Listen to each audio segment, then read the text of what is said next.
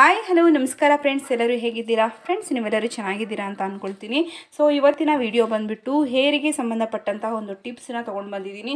So friends ನೀವೆಲ್ಲರೂ ಇಲ್ಲಿ ನೋಡ್ತಿದ್ದೀರಲ್ವಾ? So ಸೀಬೆ ಎಲೆ. ಸೀಬೆ ಎಲೆ ನಿಮಗೆಲ್ಲ ಕಾಣ್ತಿದೆ ಅಂದ್ಕೊಳ್ತೀನಿ ಸೊ ಸೀಬೆ ಎಲೆ ಇದೆಯಲ್ಲ, ಇದು ಇದನ್ನು ಯೂಸ್ ಮಾಡಿಕೊಂಡು ನಾವು ಹೇಗೆ ನಮ್ಮ ಹೇರನ್ನು ದಟ್ಟವಾಗಿ ಹೆಲ್ತಿಯಾಗಿ ಸ್ಟ್ರಾಂಗಾಗಿ ಉದ್ದವಾಗಿ ಬೆಳೆಸೋದು. ಅಂದರೆ ಹೇಗೆ ಕೇರ್ ಮಾಡ್ಬೋದು ಇದನ್ನು ಯೂಸ್ ಮಾಡಿ, ನಮ್ಮ ಹೇರಿಗೆ ಯಾವ ರೀತಿ ಇದು ಯೂಸ್ಫುಲ್ ಆಗುತ್ತೆ. ಸೊ ಇದರಿಂದ ಏನೆಲ್ಲ ಬೆನಿಫಿಟ್ ಇದೆ ಹೇರಿಗೆ ಸೊ ಇದನ್ನು ಯಾವ ರೀತಿ ಯೂಸ್ ಮಾಡೋದು ಅನ್ನೋದೇ ಇದನ್ನು ನಾವು ತಿಳ್ಕೊಳ್ಳೋಣ. ಸೊ ಬಂದ್ಬಿಟ್ಟು ನೀವು ನೋಡ್ತಾ ಇರ್ಬೋದು ಇದು. ಇದು ಫ್ರೆಂಡ್ಸ್ ಏನು ಗೊತ್ತಾ? ವಾಶ್ ಮಾಡಿ ವಾಶ್ ಮಾಡಬೇಕು ಅಂತ ಏನಿಲ್ಲ. ಯಾಕಂದರೆ ಇದೆಲ್ಲ ನೀಟಾಗೇ ಇದೆ.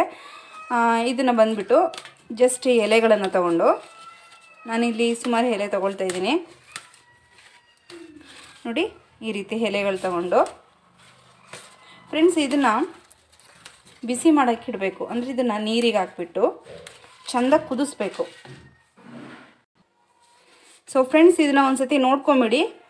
ಇದೇನಾದರೂ ಕೆಲವೊಮ್ಮೆ ವೈಟ್ ವೈಟ್ ಇರುತ್ತೆ, ಹುಳ ಕುತ್ತಿರುತ್ತೆ ಹುಳ ಗೂಡು ಥರ ಮಾಡ್ಕೊಂಡಿರುತ್ತೆ ವೈಟ್ ವೈಟು ಸೊ ಅದನ್ನೆಲ್ಲ ನೋಡ್ಕೊಳ್ಳಿ ನೀವು. ಅದೆಲ್ಲ ನೀಟ್ ಮಾಡ್ಕೋಬೇಕು ಕ್ಲೀನಾಗಿ ಆ ಥರ ಎಲೆ ಇದ್ದರೆ ನೀವು ಅದನ್ನು ರಿಮೂವ್ ಮಾಡಿಬಿಡಿ, ಬಿಟ್ಬಿಡಿ. ಬೇಡ ಅದು. ಸೊ ಈ ರೀತಿ ಒಂದು ಕತ್ತರಿ ಸಹಾಯದಿಂದ ನೀವೇನು ಮಾಡಿ, ಈ ರೀತಿ ನೀಟಾಗಿ ಕಟ್ ಕಟ್ ಮಾಡಿಕೊಂಡು ಈ ಒಂದು ಪಾತ್ರೆಯಲ್ಲಿ ಸ್ವಲ್ಪ ನೀರು ತೊಗೊಂಡಿರ್ತೀರಲ್ವಾ? ಸೊ ಅದಕ್ಕೆ ಈ ರೀತಿ ಹಾಕ್ಕೋಬೇಕು ನೀವು. ಸೊ ಇಲ್ಲಿ ನಾನು ಸುಮಾರು ಎಲೆಗಳು ತೊಗೊಂಡಿದ್ದೀನಿ. ನೀವು ನೋಡೋದಾದರೆ ನೋಡಿ, ಇವು ನೋಡಿ, ಇಲ್ಲಿ ಇಲ್ಲಿ ವೈಟ್ ವೈಟ್ ವೈಟ್ ವೈಟ್ ಆಗಿದೆ ನೋಡಿ. ಸೊ ಇದೆಲ್ಲ ನಮಗೆ ಬೇಡ. ಇದನ್ನು ಅದು ಅಷ್ಟು ಮಾತ್ರ ತೆಗೆದಾಕಿದ್ರೆ ಸಾಕು. ಫುಲ್ಲು ಎಲೆನೇ ಬೇಡ ಅನ್ನೋದೇನಿಲ್ಲ. ಎಷ್ಟು ವೈಟ್ ಆಗಿರುತ್ತೋ ಅಷ್ಟು ತೆಗೆದ್ರೆ ಸಾಕು. ಸೊ ಫ್ರೆಂಡ್ಸ್ ಈಗ ಇದನ್ನು ನೀಟಾಗಿ ಕುದಿಯೋಕ್ಕೆ ಬಿಡಬೇಕು. ಸೊ ಫ್ರೆಂಡ್ಸ್ ನೋಡ್ತಾ ಇದ್ದೀರಲ್ಲ, ಇಲ್ಲಿ ನಾನು ಸೀಬೆ ಎಲೆಗಳನ್ನು ಚೆನ್ನಾಗಿ ಕುದಿಸಿ, ಇಷ್ಟು ಕಲರ್ ಬಿಡೋ ತನಕ ಕುದಿಸಿ ಇದನ್ನು ಸೋಸಿಟ್ಕೊಳ್ತಾ ಇದ್ದೀನಿ. ಇಷ್ಟು ನಿಮಗೆ ಕಲರ್ ಬಿಡೋ ತನಕ ಚೆನ್ನಾಗಿ ಕುದಿಸ್ಬೇಕಾಗುತ್ತೆ. ಕುದಿಸಾದ್ಮೇಲೆ ಈ ರೀತಿ ತಣ್ಣಗಾದ್ಮೇಲೆ ಸೋಸಿ ಇಟ್ಕೊಳ್ಳಿ. ಈಗ ಇದು ಫ್ರೆಂಡ್ಸ್ ನನಗೆ ತಲೆಗೆ ಹಚ್ಕೊಳ್ಳೋಕ್ಕೆ ರೆಡಿಯಾಗಿದೆ ಬಟ್ ಇದನ್ನು ಹಚ್ಕೊಳ್ಳೋದಕ್ಕಿಂತ ಮುಂಚೆ ನಾನು, ನೋಡಿ ನೋಡ್ತಿದ್ರೆ ಇಷ್ಟು ಕಲರ್ ಬಿಡಬೇಕು. ಸೊ ಇದನ್ನು ಹಚ್ಕೊಳ್ಳೋದಕ್ಕಿಂತ ಮುಂಚೆ ನಾನು ತಲೆಗೆ ಕೂದಲಿಗೆ ಫಸ್ಟ್ ಆಫ್ ಆಲ್ ಎಣ್ಣೆ ಅನ್ನೋದನ್ನು ಅಪ್ಲೈ ಮಾಡ್ತಾಯಿದ್ದೀನಿ ಸೊ ನೋಡ್ತಿದ್ದೀರಲ್ಲ, ಈ ಎಣ್ಣೆ ಬಂದ್ಬಿಟ್ಟು ನಾನೇ ಪ್ರಿಪೇರ್ ಮಾಡಿರೋದು. ಅಂದರೆ ಇದು ನಾರ್ಮಲ್ ಕೊಕೊನೆಟ್ ಎಣ್ಣೆನೇ ಬಟ್ ಅದಕ್ಕೆ ನಾನು ಕೆಲವೊಂದು ಇಂಗ್ರೀಡಿಯೆಂಟ್ಸನ್ನ ಹಾಕಿ ಪ್ರಿಪೇರ್ ಮಾಡಿಟ್ಕೊಂಡಿರೋದು. ಸೊ ನಿಮಗೆ ಏನು, ಯಾವ ರೀತಿ ಪ್ರಿಪೇರ್ ಮಾಡಿದ್ದೀನಿ ಅನ್ನೋದು ನಿಮಗೆ ತಿಳ್ಕೋಬೇಕು ಅನ್ನೋದಾದರೆ ಪ್ಲೀಸ್ ನನ್ನ ಚಾನಲನ್ನು ಚೆಕ್ ಮಾಡಿ ಫ್ರೆಂಡ್ಸ್ ನಿಮಗೆ ಸಿಗುತ್ತೆ. ಸೊ ಅದಾದಮೇಲೆ ಈ ಎಣ್ಣೆನ ನೀಟಾಗಿ ಈ ರೀತಿ ಅಪ್ಲೈ ಮಾಡಬೇಕು. ಎಣ್ಣೆನೂ ಸಹ ಅಷ್ಟೇ, ತುಂಬ ಚೆನ್ನಾಗಿ ಹೇರ್ ಗ್ರೋತಿಗೆ ಹೆಲ್ಪ್ ಮಾಡುತ್ತೆ. ಎಲ್ಲ ಕಡೆಯೂ ನೀಟಾಗಿ ಅಪ್ಲೈ ಮಾಡಿ ಈ ರೀತಿ. ಸೊ ಎಣ್ಣೆ ಎಲ್ಲ ಅಪ್ಲೈ ಮಾಡಿದ್ಮೇಲೆ ನೀವು ಆ ಒಂದು ನೀರು ಅನ್ನೋದನ್ನು ತಲೆ ಬುಡಕ್ಕೆ ಮಾತ್ರನೇ ಅಪ್ಲೈ ಮಾಡಬೇಕು. ಕೂದಲಿಗೆ ಅವಶ್ಯಕತೆ ಇಲ್ಲ ಫ್ರೆಂಡ್ಸ್ ಅದು.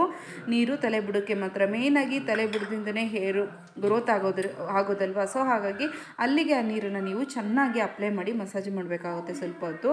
ಸೊ ತುಂಬ ಚೆನ್ನಾಗಿ ಹೇರ್ ಗ್ರೋತ್ ಅನ್ನೋದಾಗುತ್ತೆ ಹೇರ್ ಏರ್ ಫಾಲ್ ಅನ್ನೋದು ಕಮ್ಮಿ ಆಗುತ್ತೆ ಫ್ರೆಂಡ್ಸ್ ಹಾಗೆ ಉದ್ರೋಗಿರುತ್ತೆ ನೋಡಿ ಕೂದಲು. ಆ ಕೂದಲು ಆ ಜಾಗದಲ್ಲಿ ಹೊಸ್ದಾಗಿ ಹೇರ್ ಹೇರ್ ಉತ್ಪತ್ತಿ ಆಗೋಕ್ಕೆ ಅಂದರೆ ಹೊಸ್ದಾಗಿ ಹೇರ್ ಬೆಳೀಲಿಕ್ಕೆ ಸಹಾಯ ಮಾಡುತ್ತೆ. ಸೊ ನೋಡಿ ಫ್ರೆಂಡ್ಸ್ ಈ ರೀತಿ ಮುಂದೆ ತಲೆ ಕೂದಲನ್ನ ಈ ರೀತಿ ಹಾಕ್ಕೊಂಡ್ಬಿಟ್ಟು ಈ ರೀತಿ ನೀವೇನು ಮಾಡಬೇಕು, ನೀರನ್ನು ಹಾಕ್ಕೋಬೇಕು ನಿಮಗೆ ಈಸಿ ಅನಿಸುತ್ತೆ ತಲೆ ಕೂದಲು ಮುಂದೆ ಹಾಕ್ಕೊಂಡು ಈ ರೀತಿ. ಸೊ ತಲೆ ಕೂದಲನ್ನ ಈ ರೀತಿ ಮುಂದೆ ಹಾಕ್ಕೊಂಡ್ರೆ ನೀವು ಆ ನೀರನ್ನು ಬುಡಕ್ಕೆ ಅಪ್ಲೈ ಮಾಡಲಿಕ್ಕೆ ತುಂಬ ಈಸಿ ಆಗುತ್ತೆ. ಸೊ ಈ ರೀತಿ ನೀವು ಅಪ್ಲೈ ಮಾಡ್ಕೊಳ್ಳಿ. ಸೊ ಈ ರೀತಿ ಅಪ್ಲೈ ಮಾಡಿಕೊಂಡು ಫ್ರೆಂಡ್ಸ್ ನೀವು ಏನಿಲ್ಲ ಅಂದರೂ ಒಂದು ಗಂಟೆ ಅಥವಾ ಎರಡು ಗಂಟೆ ಬಿಟ್ಟು ನೀವು ತಲೆ ವಾಶ್ ಅನ್ನೋದು ಮಾಡಬೇಕಾಗುತ್ತೆ. ಅದಾದಮೇಲೆ ಒಳ್ಳೆಯ ರಿಸಲ್ಟ್ ಅನ್ನೋದು ನೀವು ನೋಡ್ತೀರಾ. ಸೊ ಇದು ವೀಕ್ಲಿ ಒಂದು ಸತಿ ಫಿಫ್ಟೀನ್ ಡೇಸಿಗೆ ಒಂದು ಸತಿ ಮಾಡಿದ್ರೆ ಸಾಕು.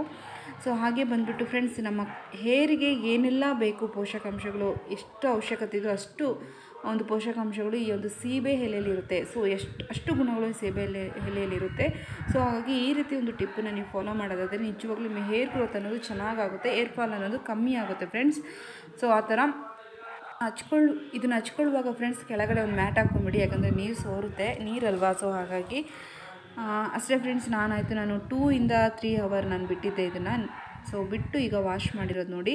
ಸೊ ವಾಶ್ ಆದಮೇಲೆ ನನ್ನ ಹೇರ್ ಹೀಗಿದೆ. ಸೊ ತುಂಬ ಚೆನ್ನಾಗಿ ಹೇರ್ ಫಾಲ್ ಅನ್ನೋದು ಕಂಟ್ರೋಲಿಗೆ ಬರುತ್ತೆ. ಹೇರ್ ಗ್ರೋತ್ ಅನ್ನೋದು ಬೇಗ ಆಗುತ್ತೆ ಫ್ರೆಂಡ್ಸ್ ಸೊ ಇವತ್ತಿನ ವಿಡಿಯೋ ಇಷ್ಟೇ. ಇನ್ನೂ ಹೆಚ್ಚಿನ ಒಂದು ಹೇರಿಗೆ ಸಂಬಂಧಪಟ್ಟಂಥ ಟಿಪ್ಸ್ಗಳು ನಿಮಗೆ ಬೇಕಾಗಿದ್ದರೆ ಕಮೆಂಟ್ ಮಾಡಿ. ನನಗೆ ತಿಳಿದಂಥ ಟಿಪ್ಸ್ ನಿಮ್ಮೊಟ್ಟಿಗೆ ಶೇರ್ ಮಾಡ್ತೀನಿ. ವಿಡಿಯೋನ ಕೊನೆಯವರೆಗೂ ನೋಡಿದಕ್ಕೆ ಥ್ಯಾಂಕ್ ಯು ಸೋ ಮಚ್ ನನ್ನ ಚಾನಲ್ ಸಬ್ಸ್ಕ್ರೈಬ್ ಮಾಡ್ಕೊಳ್ಳಿ. Thank you so much friends